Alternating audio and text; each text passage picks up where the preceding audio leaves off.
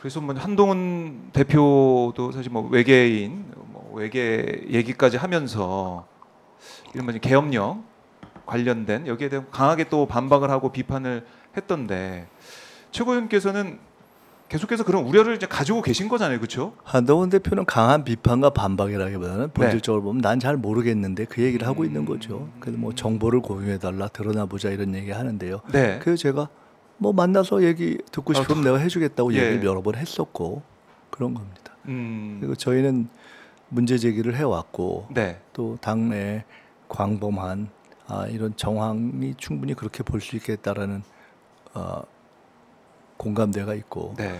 아주 구체적인 정보를 다 아, 당의 모든 성원들과 나누지는 못했습니다. 그건 뭐 음, 음, 필요 적이고 자연스러운 일이죠. 이런 일의 성격상. 음. 네. 그렇지만 이미 어, 우리 저희들이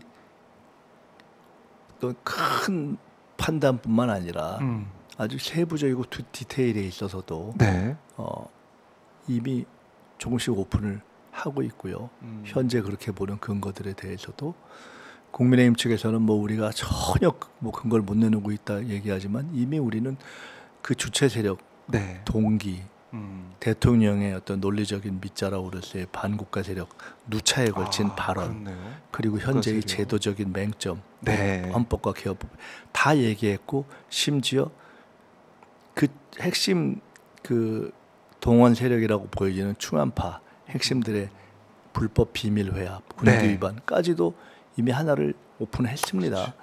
그에 대해서 아 우리는 안 할 건데 무슨 소리냐라는 거 외에 전혀 답을 못 하고 심지어 저희들이 오픈한 그 불법 회합에 네. 대해서도 사실상 인정하면서도 날짜도 얘기 못 합니다. 어. 아주 심플합니다. 이유는 우리가 어느 날짜를 찍었는지 본인들이 모르기 때문에 그렇습니다. 아, 아, 또 그- 그게 또 있군요. 야, 그러니까 지금 개업 얘기 한동훈 대표 입장도 그렇고 여권에서는 뭐 민주당한테 비판하고 있지만 뭐 나온 게 없어요.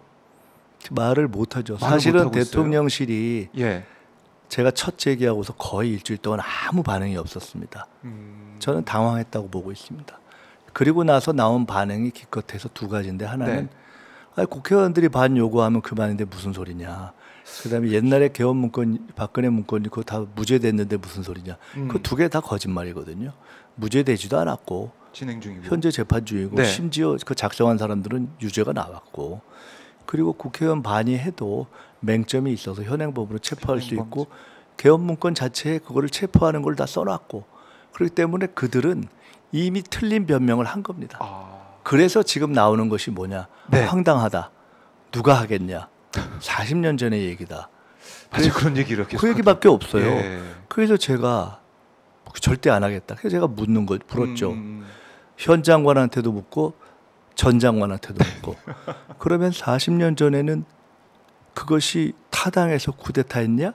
음, 그리고 40년 전에는 그런 것에 대해서 쿠데타 할 만큼 우리나라가 그렇게 후진국이었나? 네. 그리고 그때는 국내에서 항명이 한 명이라도 있었나? 음, 다 아니거든요. 그렇네요. 네, 그래서 그런 문제에 대해서 저희는 네.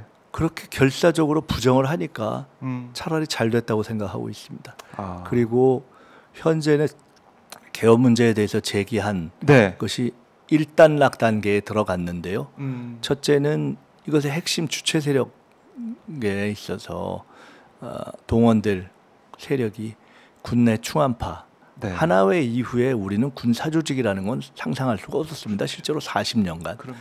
이게 처음 나온 겁니다. 음, 파라는 형태로 음, 복수로 존재하면서 실제로 군기 위반 불법 회합을 하고 그들이 군의 핵심 요직을 점하고 있다라는 점 최초의 일입니다. 네. 아, 게다가 그 당사자들 중에 김영현 씨 같은 경우는 실제로 체해병 문제 등등에서 피 당사자 중에 하나입니다. 음, 그러니까 이 불법적이고 네. 무도한 일을 할 모든 동기가 갖춰져 있는 사람이에요. 음, 게다가 시키는 대로 하는 사람이고 시키는 것보다 더 할 사람이죠. 네. 이번에 그 태도들이 국회에서 다 아주 아. 충분히 드러나기도 했는데요. 그래서 충암파를 척결해야 된다. 저희는 그 음. 거기에 이번에 군기 위반 책임자들 반드시 해임해야 된다고 보고 있습니다. 네. 그것으로 저희는 딱 초점을 하나를 잡았고요. 또 하나는 우리 허- 우리 법 체계의 그 계엄에 대한 제도적 맹점을 다 짚었으니 음.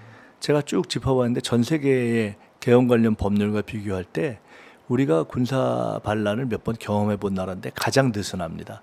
음. 그래서 글로벌 스탠다드에 미치지 못합니다. 아. 그러면 그렇게 안 한다는 보장을 하든가 네. 아니면 그 보장에 맞춰서 보장 장치를 해라. 그 얘기는 제도를 바꾸라는 얘기입니다. 그렇네요. 네, 지금- 그렇게 하면 되는 거죠. 근데 자기들이 절대 그런 일은 없다고 했기 때문에 말만 이렇게 얘기하고. 네, 그래서 예.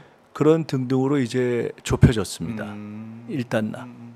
그래서 그것으로 저희들이 초점을 잡고 계엄론은 황당한 문제 제기라든가 네. 있을 수 없는 얘기를 하는 것이 아니라 있을 수 있고 음. 합리적인 근거와 정황에 의해서 뒷받치는 것을 정확하게 제기하고 음. 그의 문제가 되는 세력의 척결과 제도 개선까지도 지금 요구하는 방향으로 아주 잘 네. 정리를 해가고 있다 이렇게 생각하고 있습니다. 알겠습니다. 말로만